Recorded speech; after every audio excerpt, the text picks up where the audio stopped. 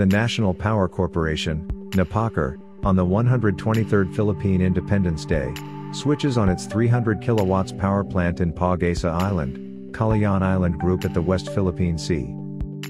The Joint Task Unit Pag-asa headed by its Philippine Navy Commander Lieutenant Rey S. Tibay and other officers attended the ceremonial switching of Kalayaan Diesel Power Plant and Distribution Line.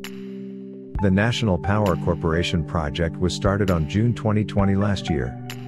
The energization of Pag-asa Island is one big step in the development that will improve the lives of all of its inhabitants military and civilian populace alike.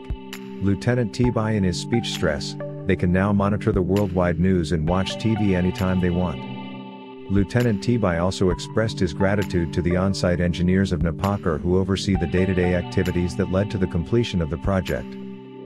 The NAPOCOR has on hand two 150 kilowatts generator sets and two fuel tanks with a capacity of 20,000 liters for each tank and with an estimated consumption of 340 liters for the duration of 24 hours. Pag-asa Island is the first among the eight islets under the jurisdiction of the municipality of Kalayaan to be energized by the National Power Corporation.